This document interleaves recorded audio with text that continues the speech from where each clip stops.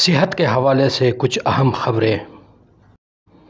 अखरोट हमारे दिमाग को क़वत देते हैं और अमराज क़ल्ब से महफूज रखते हैं। अब एक तवील तहक़ीक़ से मुनकशफ़ हुआ है कि लड़कोपन और जवानी में अखरोट खाने से बुढ़ापे में तोनाई और तंदरुस्ती बरकरार रह सकती है।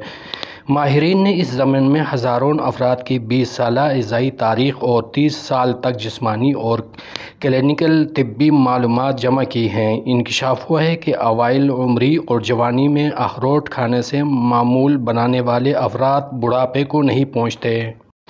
अखरोट खाने को मामूल बनाने वाले अफराद जब दरमियानी उम्र और बुढ़ापे तक पहुँचते हैं तो अखरोट न खाने वालों के लिहाज से ज़्यादा सरगर्म और तवन्ना रहते हैं, बल्कि में उनके अमराज क़ल्ब के अखदरात भी कम होते हैं। ये तहक़ीक़ coronary artery risk development CARDIA program के तहत की गई है, जो बहुत हरसे तक नेशनल इंस्टीट्यूट ऑफ़ हेल्थ ने जारी रखा है। ये तहकीक मारब के अलावा मशरक़ वस्ती के कई ममालिक में की गई थी। क्योंकि मशरक़ वस्ती और शुमाली अफ्रीकी ममालिक में लोग खुश्क मेवे रबत से खाते हैं।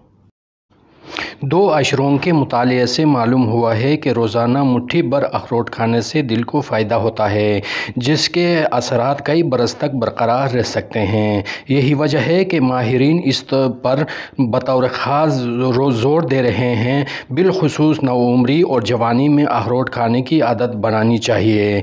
इस तहकीक में जामिया अमिनी सोटा के स्कूल बर अवामी सेहत ने की है, जो इज़ाओं से वाबस्ता एक तहकीक़ाती जरीदे में शाये हुई हैं।